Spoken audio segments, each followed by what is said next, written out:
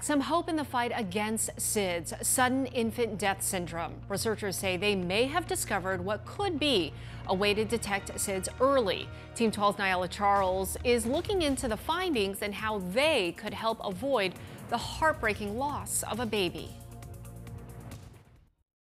Sudden infant death syndrome, or SIDS, is a devastating disease. Just ask Dr. Gary Kirkilas, a Phoenix Children's Hospital pediatrician who has seen it firsthand. You know, every year we have many, many children that um, unfortunately passed as a result of SIDS.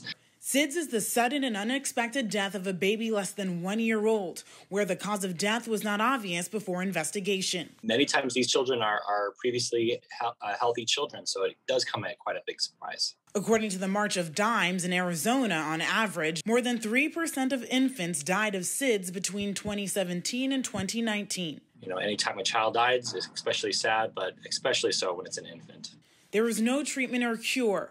Also, no way to detect early until possibly now. It'll be very interesting to, to see if there's any sort of genetic um, component to this.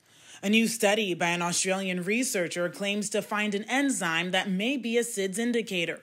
The sample size was relatively small, but if more research confirms this, it could be a huge breakthrough for SIDS and the families affected by it. But until that happens, you know, I think the evidence is really um, showing that prevention really is the best method. Pediatricians urge parents to utilize safe sleeping practices that have been proven to prevent the disease. When a parent's sleeping and perhaps the infant gets stuck underneath the arm, and while the parent is sleeping, they have no idea uh, that the infant is suffocating. Other tips include placing babies on their back in an empty crib so they have plenty of space to breathe. Eventually, the hope is that with more research, like the Australian study, we can one day find the cure.